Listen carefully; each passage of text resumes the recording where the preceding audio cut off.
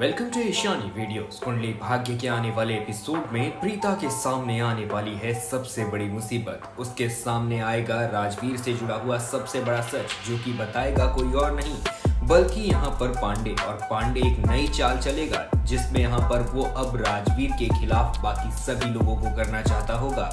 शौर्य को जेल से बाहर नहीं आने देना चाहता। साथ ही साथ यहाँ पर अब एक सबसे बड़ी गलती हो जाएगी, किसी और की तरफ़ से नहीं, बल्कि यहाँ पर निधि की तरफ़ से, जिसकी वजह से शौर्य और भी ज़्यादा मुसीबत में फंसने वाला है। क्या दिखाया जाएगा खास? क्या होने वाला है? और उसके साथ साथ पारस कलनावत से रिलेटेड एक स्पेशल न्यूज़ है। वो बताएँगे वीडियो के लास्ट में, लेकिन इन सभी बातों को बताने से पहले जल्दी से आप सब एक लाइक ज़रूर कर देना और चैनल पर नए अभी तक सब्सक्राइब नहीं किया तो सब्सक्राइब भी ज़रूर कर लेना।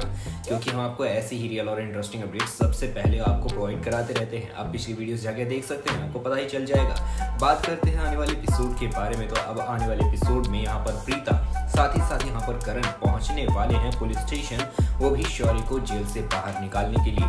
काफ़ी ज़्यादा रिक्वेस्ट और काफ़ी ज़्यादा यहाँ पर बातचीत करने के बाद में भी पुलिस वाले मानते नहीं और ना ही यहाँ पर वो पूरी तरह से शौर्य को छोड़ते हैं। लेकिन तभी अचानक से जाते हुए पूरी तरह से चिल्लाकर बोल देती है निधि कि आखिर में चलिए, आप बताइए, आप कितने पैसे लेंगे यहाँ पर मेरे शौर्य को जेल से बाहर निकालने के लिए?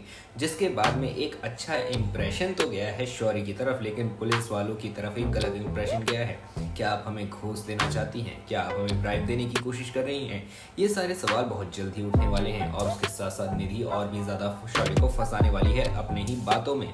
अब यहाँ पर शौर्य का नफरत का सिलसिला आगे बढ़ते जाएगा। करण को लेकर वहीं दूसरी तरफ़ अब आपको देखने को मिलेगा कि यहाँ पर करण को राजवीर भी नफरत करता है। साथ ही साथ प्रीता के कुछ सवाल पूछे जाने वाले हैं। अब यहाँ पर राजवीर से, जो कि राजवीर सही से जवाब नहीं दे पाएगा, और बहुत जल्द ही पारस कलनावत का एक सॉन्ग आने वाला है। उससे रिलेटेड अपडेट आपको इंस्टा पर मिल जाएगी।